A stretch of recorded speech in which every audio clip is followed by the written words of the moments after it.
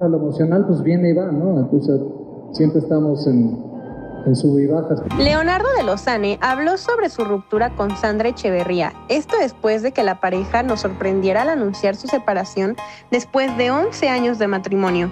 Y pese a que ambos intentaron retomar su relación, las cosas al parecer no funcionaron. Viendo si eso va a funcionar o no. Sí, la verdad no hay mucha esperanza.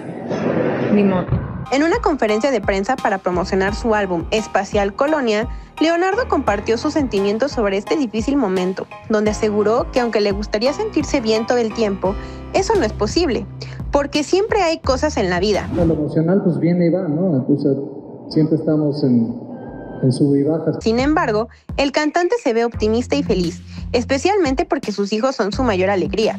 Mis hijos y esto es lo que más me emociona en la vida, expresó. Cabe mencionar que la última publicación que le dedicó su ex fue el 18 de junio, donde festejó a sus dos amores, su hijo y su esposo, pero lo que no nos imaginamos era que tres meses después esta historia de amor terminaría. Festejando hoy a los papacitos más guapos del universo. Gracias por llenar nuestras vidas de tanto amor, escribió Sandra en su publicación.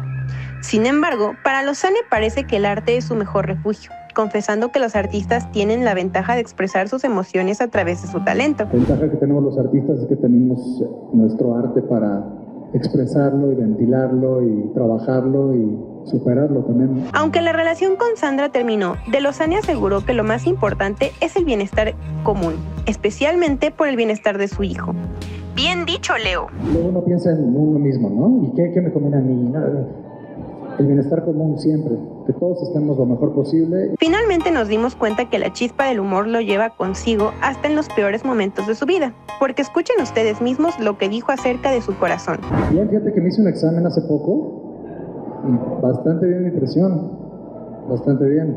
Pero bueno, en otros temas, te cuento cómo sin pena Kimberly, la más preciosa, dice que mantiene a su novio. Así como lo escuchas, la integrante de Las Perdidas soltó toda la sopa sobre su relación respondiendo a un usuario. Así que si te lo perdiste, aquí te lo cuento todo.